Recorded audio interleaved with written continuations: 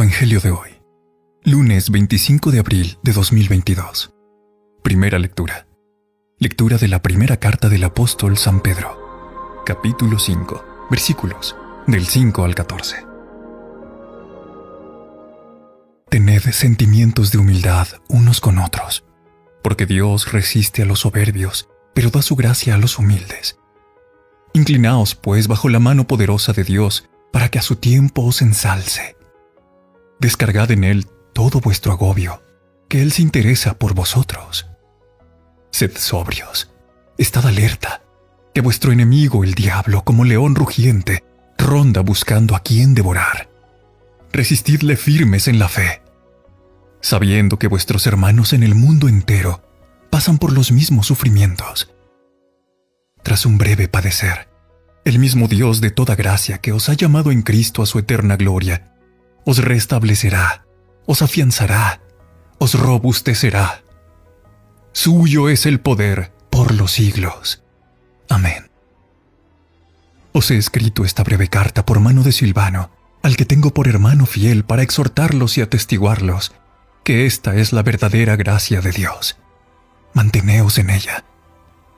Os saluda la comunidad de Babilonia y también Marcos, mi hijo. Saludaos entre vosotros con el beso del amor fraterno. Paz a todos vosotros, los cristianos. Palabra de Dios. Te alabamos, Señor. Salmo responsorial. Cantaré eternamente tus misericordias, Señor. Cantaré eternamente las misericordias del Señor. Anunciaré tu fidelidad por todas las edades, porque dije, tu misericordia es un edificio eterno. Más que el cielo has afianzado tu fidelidad. Cantaré eternamente tus misericordias, Señor. El cielo proclama tus maravillas, Señor, y tu fidelidad en la asamblea de los ángeles. ¿Quién sobre las nubes se compara a Dios? ¿Quién como el Señor entre los seres vivos? Cantaré eternamente tus misericordias, Señor. Dichoso el pueblo que sabe aclamarte. Caminará, oh Señor, a la luz de tu rostro. Tu nombre es su gozo cada día tu justicia es su orgullo. Cantaré eternamente tus misericordias, Señor. Lectura del Santo Evangelio, según San Marcos, capítulo 16, versículos del 15 al 20. En aquel tiempo, se apareció Jesús a los once y les dijo, Id al mundo entero y proclamad el Evangelio a toda la creación. El que crea y se bautice se salvará. El que se resista a creer será condenado.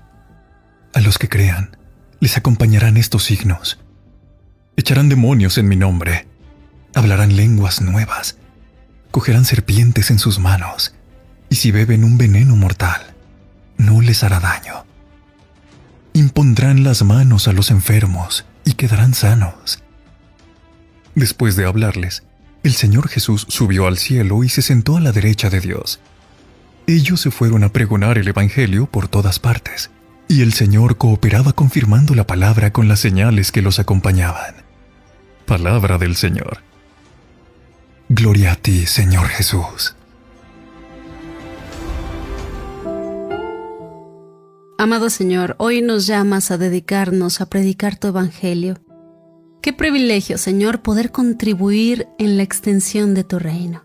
Para lograrlo necesitamos aumentar nuestra fe y nuestra caridad. Por ello te pedimos que esta oración sea el medio para fortalecer nuestra convicción de ser unos auténticos discípulos y misioneros de tu amor. Ayúdanos, Señor, a saber corresponder con nuestro amor y servicio a los demás el don de tu redención. Querida y amada comunidad de este tu espacio, oraciones en video. En la fiesta de San Patricio recordamos cómo Patricio respondió al llamado de Dios. Todos somos llamados por Dios, pero a veces somos temerosos de escucharlo.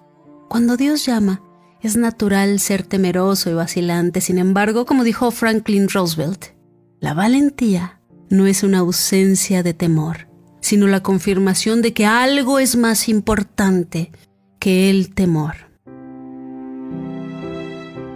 Hoy preguntémonos a cada uno de nosotros en silencio cuándo y dónde yo proclamé por última vez la buena nueva, sea con obras, palabras o divulgación del Evangelio. La misión que Jesús dio a sus apóstoles debe haber sonado totalmente imposible, incomprensible para ellos. Vayan a todo el mundo y proclamen la buena nueva a toda la creación. Ellos, un grupo con tantas limitaciones y que se había echado para atrás en el momento crítico, eran encargados con la misión del mismo Jesús. Todavía más sorprendente sea el hecho de que ellos llevaron a cabo esta misión y nosotros, junto a muchos otros, somos los beneficiarios de su fe y confianza en Jesús. Agradezcamos sinceramente a Dios por los apóstoles y agradezcamos por nuestra fe. Agradezcamos a Dios especialmente por San Marcos, que fue el primero en escribir un evangelio y cuya fiesta hoy celebramos. El evangelio de Marcos termina con esta bonita imagen de Jesús acompañando y confirmando su poder mientras lleva a cabo su misión de esparcir la buena noticia. Todavía hace lo mismo. Oremos, amados hermanos, todos los días para que podamos ser fieles y valientes al llevar el mensaje de Jesús a todo el mundo. Agradezcamos que estamos viviendo épocas en donde un solo clic de distancia, sin dar nombre, domicilio o referencias, podemos esparcir la buena semilla tan solo compartiendo el Evangelio a través de las redes sociales. Qué maravilloso y qué emocionante puede ser esparcir el Evangelio y pensar hasta dónde viajará en el mundo esa hermosa semillita. Hoy los exhorto, amados hermanos, a que sea un día masivo de compartir el Evangelio. Dediquemos este día para echar las redes, para que la semillita de mostaza crezca grande y fuerte, para que este Evangelio de humanidad y de divinidad llegue a todas las vidas, porque todas las necesitamos. Nuestras oraciones con el Evangelio de Marcos complementan nuestra fe. Cada uno estamos siendo llamados hoy a este ministerio de Jesús de alguna manera. Estamos llamados a ser otros Cristos, a ser personas que desean dar a conocer y difundir el amor de Dios y el cuidado que brinda a la gente en el mundo. Nunca podemos saber cuánto de esto hemos hecho. Es suficiente con hacer lo que cada uno puede. Dios tiene que hacer algunos trabajos que solo pueden hacerse a través de cada persona, es decir, a través de cada uno de nosotros. En la oración pidamos usar nuestros dones y talentos al servicio de Dios lo mejor que podamos. Compartamos, pues, la buena nueva, este mandato que Dios nos entregó hace dos mil años. Dediquémosle no todos los días como Él nos lo pide, pero sí les pido que hoy sea masivo difundir este Evangelio, porque Dios está determinado a llevarnos a toda la comunidad final de amor que se va reuniendo día tras día aquí en este su espacio, oraciones en video. Aquí damos gloria y alabanza a Dios y toda honra es para Él, y todo reconocimiento es suyo, y este espacio es de Él. Así que, Señor, déjanos oírte cuantas veces dices anda, y nos dejas encontrar las maneras creativas para hacer una buena noticia para quienes nos rodeen. Señor, envíanos afuera cada día para ser testigos de ti a través de nuestras acciones. Debemos ser ministros frente a los enfermeros, frente a los pobres y los hambrientos, a los desplazados, los prisioneros de este mundo. Nosotros, Señor, no somos auditores de tu palabra. Tu palabra busca una morada y la va a encontrar en nosotros. Nosotros nos preguntamos qué debemos hacer y tú solo nos pides que difundamos la semilla. Hoy queremos ser esa buena noticia para el mundo. Queremos ser esa lámpara en la oscuridad porque podemos ser cada uno de nosotros buenas nuevas, porque lo somos, porque lo decimos, Señor, porque tú así nos lo mandas. Y así lo haremos. Esta es nuestra agenda tuya, Señor Jesús, para nosotros hoy, compartir el Evangelio. Amada comunidad de este su espacio Oraciones en Video, id al mundo entero y proclamad el Evangelio a toda la creación. Les pido que compartamos el Evangelio el día de hoy. Dios los bendiga enormemente.